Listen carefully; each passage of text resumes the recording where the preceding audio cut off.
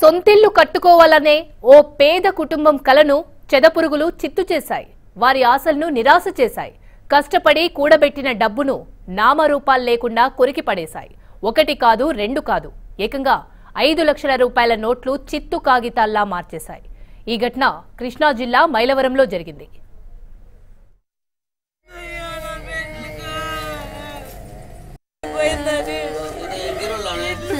అయిపోయిందని ఇల్లు మొగులు కష్టం తింటున్నారు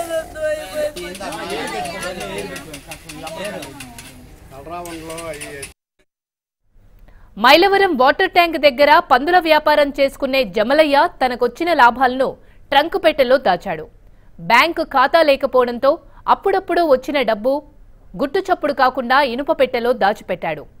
పది లక్షలు పోగు చేసి సొంతింటి కలను నెరవేర్చుకోవాలనుకున్నాడు. దాదాపు ఐదు లక్షల రూపాయల వరకు దాచిపెట్టాడు.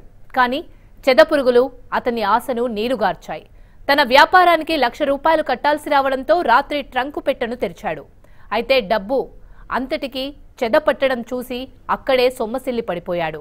ఉదయాన్నే పెట్టెలో ఉన్న మొత్తం డబ్బును తీసి చూడగా చెదపురుగులు తినేయడాన్ని చూసి బోర్న బాధపడ్డాడు తన కష్టార్జితం ఎందుకు పనికి రాకుండా పోవడంతో కన్నీటి పర్యంతమై ఆవేదన వ్యక్తం చేస్తున్నాడు చుట్టుపక్కల వారి సమాచారంతో రంగంలోకి దిగిన పోలీసులు జమలయ్య ఇంటికి వెళ్ళి ఆరా తీశారు తమకు న్యాయం జరిగేలా చూడాలంటూ పోలీసుల దగ్గర కంటతడి పెట్టుకున్నాడు